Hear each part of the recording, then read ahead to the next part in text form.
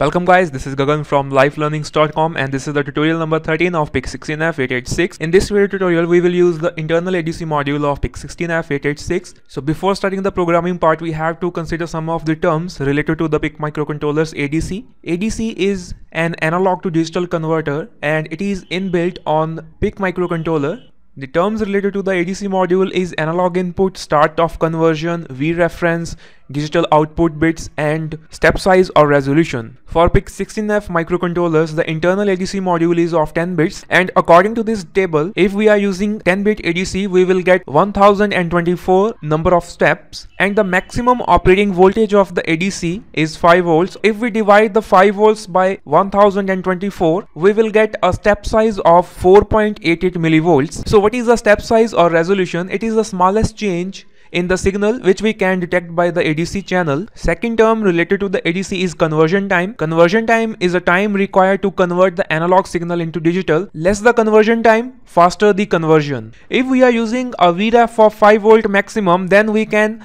measure the input signal from 0 volts to 5 volts and in this case we will get a step size of 4.88 millivolts. If we change the VREF to 2.56 volts then we can measure the voltage from 0 to 2.56 only and in this case we will get a step size of 2.5 millivolts. So the VREF is the signal which will define the maximum level of voltage which you can measure through the ADC.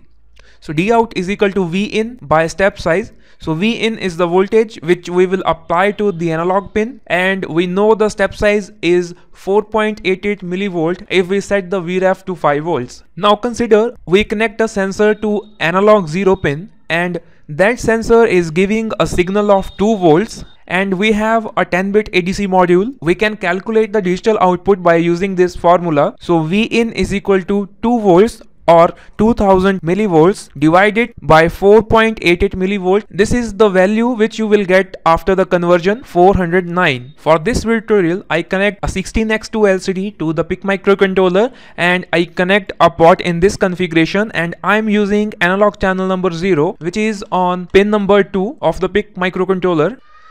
So this potentiometer will work as a variable voltage source and we will measure the voltage through the ADC pin AN0 and we will display the digital count of that converted value. In the programming side, first declare the pins for LCD and don't forget to include the library for LCD and ADC module. Go to library manager and select this ADC library and LCD library.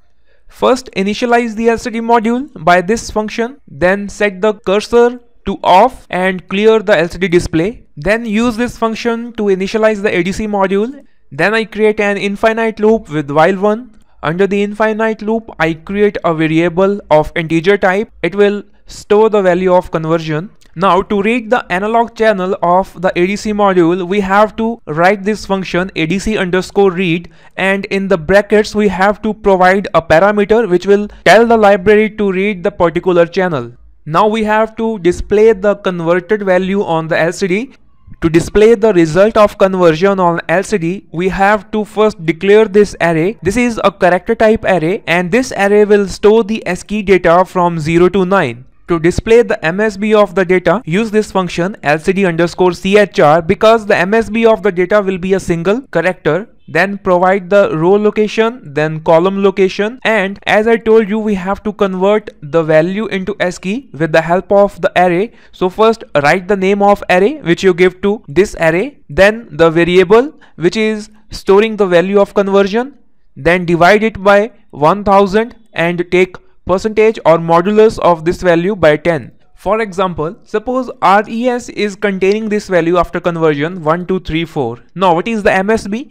This one is the MSB. This one is the decimal value and we have to convert it into ASCII to display on LCD. For that purpose, if you divide the result by 1000 and take it modulus by 10, you will get this one. Now what we are doing, we are assigning this expression value to the array location. So in this way we will get ASCII 1 instead of this decimal 1. To get the next value, the value is 2 we will divide the result by 100 and we will take the modulus by 10 then we will get 2 and the expression will change to 2 and now instead of this decimal 2 we will get the ASCII 2 from the array. To get the next value which is 3 divide the result by 10 and take the modulus of that value by 10 and you will get a 3 and assign this 3 to array index and you will get the ASCII 3. Now for the last value which is 4, just take the modulus of the result by 10 and you will get 4 and assign that 4 value to the array index and you will get the ASCII 4.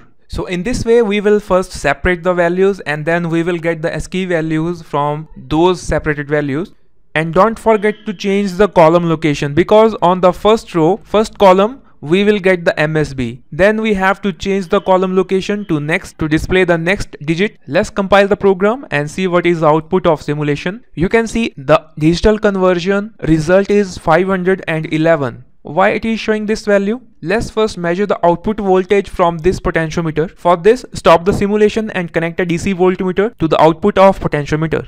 So after connecting the voltmeter, you can see what is the output voltage from this potentiometer. It is 2.5 volts. If we calculate the D out, now the voltage is 2.5 volts or 2500 millivolts divided by 4.88 millivolts and you will get 512 so this is close to this displayed value now suppose i set this potentiometer to get 4.3 volt signal then what will be the display output 4.3 volts means 4300 millivolts divided by 4.88 millivolt which is a step size and you will get 881 on the display. So you can see it is approximately same because the value is 4.35 and according to our result it is 881 so it is very close. So minimum value is 0 and maximum value is 1023. So this is the simplest program to read the analog channel with the help of internal library of MikroC compiler. You can experiment by changing the pin number and you can use any channel from port A or port B. So thanks for watching guys. Don't forget to subscribe my channel.